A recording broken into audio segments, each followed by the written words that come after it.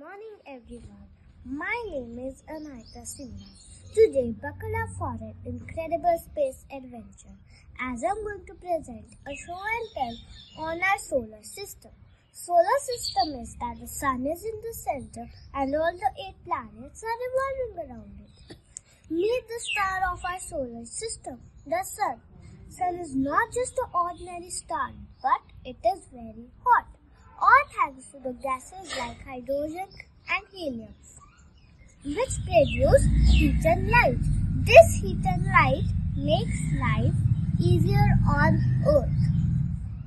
Meet the first planet, Mercury. Mercury is the smallest planet. It is the first planet from the Sun. Mercury takes 88 days to revolve around the Sun, and Mercury has a rocky surface. Venus. Venus is the brightest planet. It is the second planet from the Sun. If you ever want to see Venus, go out in your garden in early morning or late evening and look up in the sky. The brightest thing you are probably seeing is Venus.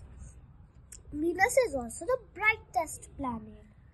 Now let's move on to our home sweet home planet Earth. Earth is the only planet with living people.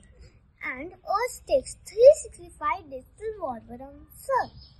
And that's why we have 365 days in a year. Mars. Mars is known as the red planet because of the red soil. Scientists are very interested in Mars because they think that people can live on Mars.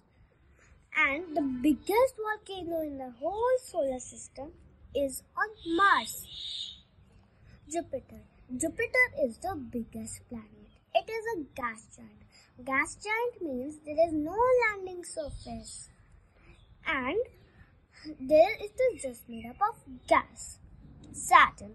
Saturn is also a gas giant. Saturn is famous for the fancy rings around it which are made up of ice particles and rocks. It looks like that Saturn is wearing a fancy jewelry in the whole solar system.